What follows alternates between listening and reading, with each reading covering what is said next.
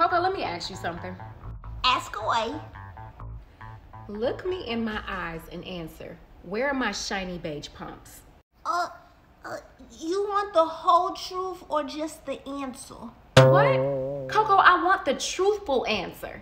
Oh, you want the two for one special. Answer the question now.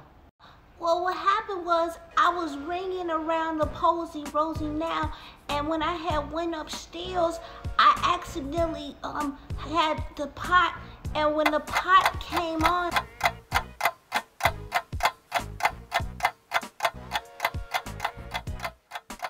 Were not there, so I, I kept um thinking I, I can make it happen.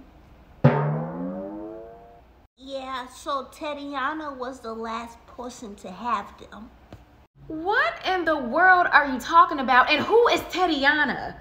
Oh, she's the one who took your shoes. You know her, Mama. You know my teddy bear, the one with the scrunchies.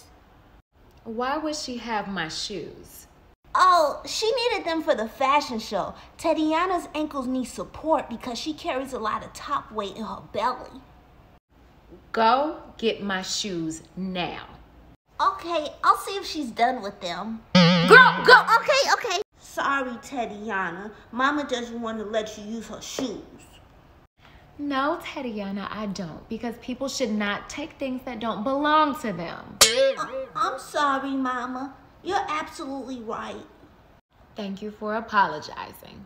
You're welcome. So, what do you say, Mama? Can we borrow them now, or maybe those pretty colorful ones in the new box upstairs?